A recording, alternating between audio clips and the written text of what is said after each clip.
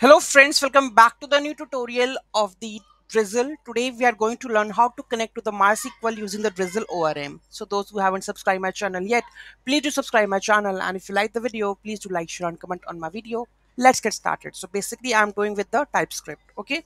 So let's go to the terminal and let's play around it. Okay, so open here we have the terminal. Let's open it.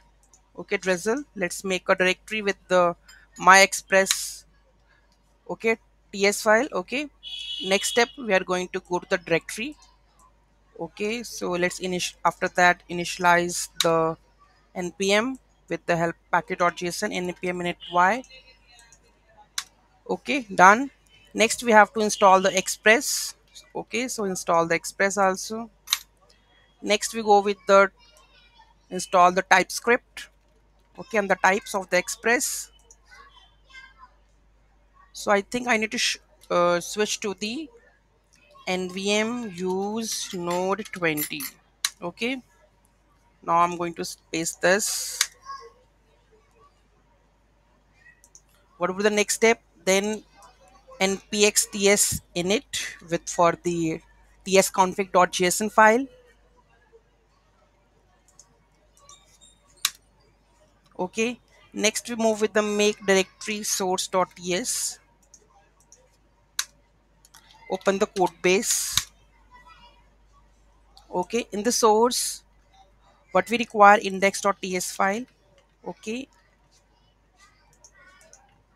Index.ts and here we are going to just add the code and do the npm start. Okay.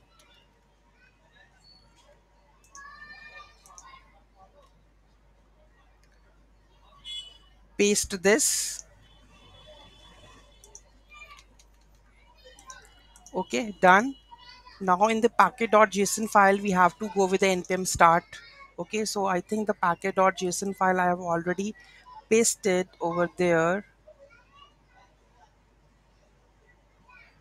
Package.json file is there.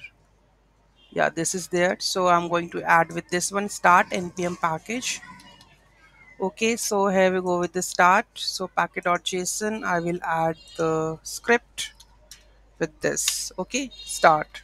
So what i will do i will go with npm start and the ts is configured successfully and running on the service. Okay if i just open the link you can see that hello from the typescript express server. Now i'm going to use the drizzle orm to integrate in that typescript. So let's see how we are going to do that. So we have to go with this one in uh, install this drizzle orm mysql 2 so just install install this one. Just control c paste this. Okay. This is done. After this we go with you have to install the drizzle kit also for the migrations and all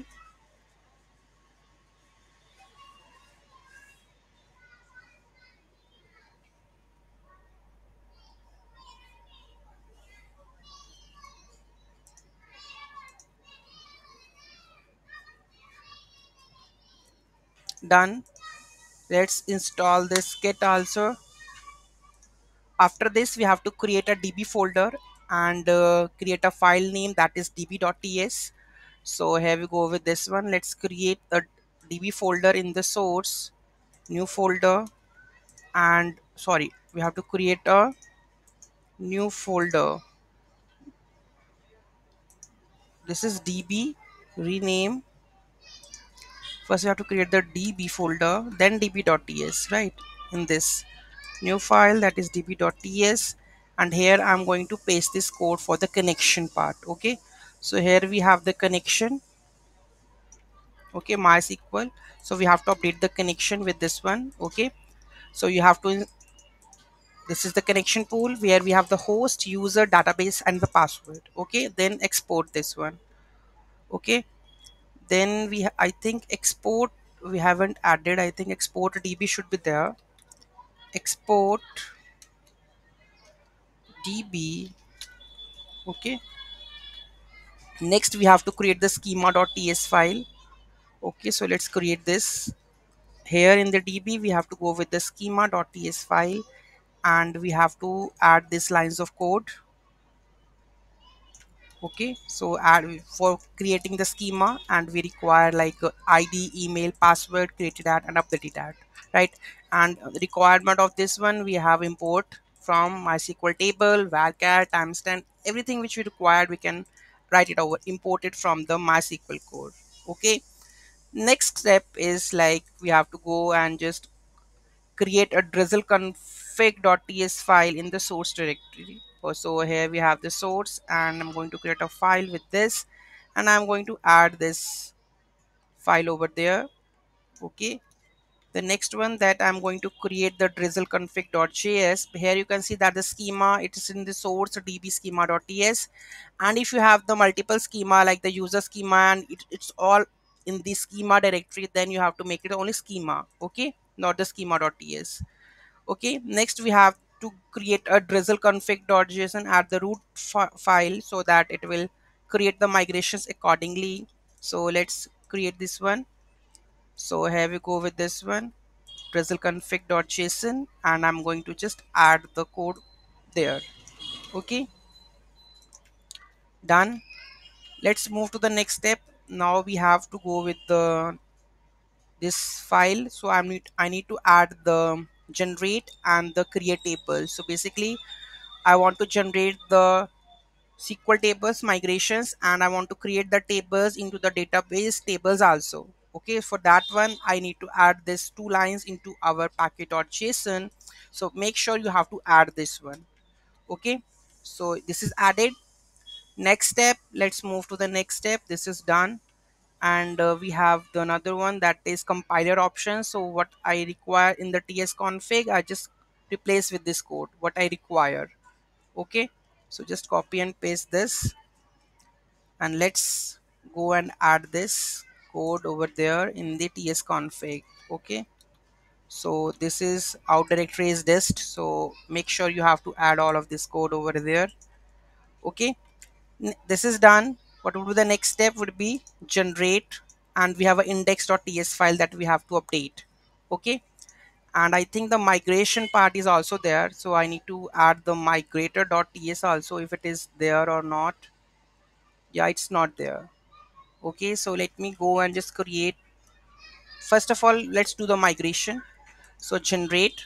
So currently there is no migrations in here. Here you can see there is a node modules and the source directory right so let's try to paste this code npm run generate will help you to create the schema. Okay so users column here you can see right? So schema is created. Here you can see migrations and the schema is created. In the in the db.ts this configurations is not correct i guess. So let me go and just revise these connections. So localhost php adminer php adminer and uh, here we have the root i guess. Root and the password would be admin 123 hash. Might be. Yes this is that one. So i need to just change. Use uh, user is uh, root and the password is uh, admin. And the database which i'm going to pick it up like uh, which one? Oh, mydb. So i'm going to use the mydb right? So let's use it okay database done. Now we have to in the migrations i need to create a one file that is migrator.ts migrator.ts wherever you want to create you can create migrator.ts and here we need to put the code. So mysql i have already extract this. Extract here. And the mysql in the migrations we have a migrator.ts open with this one and just copy and paste this. Okay in the migrator.ts file we have to paste this code and change the credentials over there. So you have to migrate from the drizzle orm mysql 2 migrator drizzle my, mysql 2 and the path. So here we have established the connection localhost. User is root. Database is um, mydb. Whatever i need to check. That is mydb okay so here we go with this one mydb password. I need to put it over here for the run the migration so that it will create the table into that directory in that table. Okay? So migrator is all migrations. So make sure the path is to be correct. Otherwise it will give you the error. So here you can see that we have a migration. So a migration is there right? Okay done. Migration done. Exit with if something went wrong it will give me the error that migration error. Okay so currently there is a no table in the mydb there is only select user is there. If i just drop this also you can just go with drop. Okay so there's no table over here right? So let's try to run the next command for drizzle that is create tables which we have already mentioned in the package.json so paste this code and just hit run. And here we go with the migrations done. If i just go and check this one migrations are there. Users table is already created. Okay so that means connection is done. Migration is done. Now we have to test the connection that it is working or not. Okay so let's try to insert a record into the table which confirms that the we have successfully connecting to the mysql using the drizzle orm right? So let's go to the index.ts file and update the code. So here we have an index.ts file. Let's update the code. Okay so here we have this one code let me update this code with the another one. That is where it is. index.ts file. Yeah. So let's update this code. Okay. So here you can see that we have a db import then user schema. Then we have a get request. Here we are calling the run query. So run query what they are doing? Db.insert in the users. Values would be email and the password. And it will return in the console the data. Okay that's it. We want to try to check that the is it connected or not. Let's save this and uh, run this one. So here we have npm start. Will help you to run the ts file. Okay done. If i just hit uh, here you can see that there is no records over there. When i try to hit this url open the link and uh, here you can see the record is inserted. Right so that means we have successfully connected to the database with the MySQL using the Drizzle ORM, right? Any doubt, any query in that, do let me know in the comment section. Thank you so much for watching this video and don't forget to like, share and comment on my video. Have a nice day.